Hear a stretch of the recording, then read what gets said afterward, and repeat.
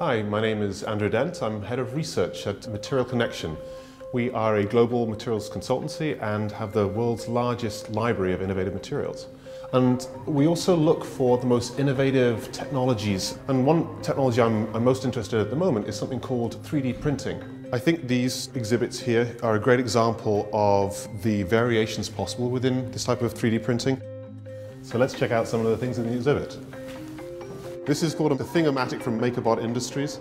They have a number of different versions, but this one's actually uh, called a Thingomatic.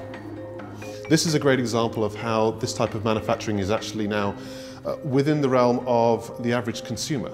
Uh, these products retail between 1,100 and, and $2,000 and offer us the ability to start creating products ourselves in something that we can put onto a desktop.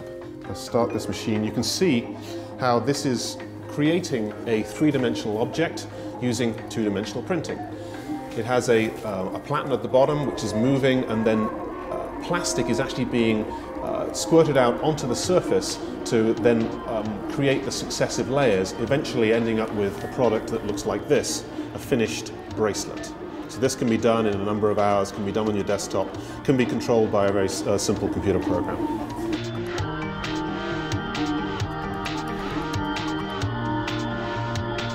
Obviously this needs to be created from a raw material and that raw material is here.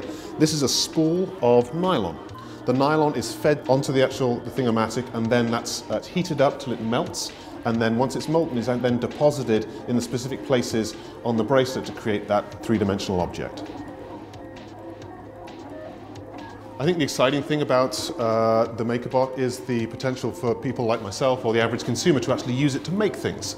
Uh, I think the idea is there is no limit to what you can make. One can create virtually anything on a small scale um, out of this plastic. You can play around with it and get creative. It's possible to, to make a mug or your own jewellery. I think the, the great thing about it is there's no real limitation as to what you can manufacture.